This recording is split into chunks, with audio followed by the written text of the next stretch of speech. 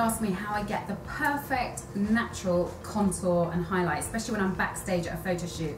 The perfect formula is actually two different shades of the original foundation. So I'm going to use a pale shade, which naturally matches Flavi's skin tone, but I'm also going to use a darker shade to contour. So first of all, to get the perfect complexion, I'm taking original foundation in Flavi's shade. Uh, we're using the Beautiful Finish brush. Just swirl, tap, and buff into the skin. And once we've got that beautiful flawless complexion, we're actually going to go in with a darker shade of the original foundation to use as a beautiful natural contour for the complexion.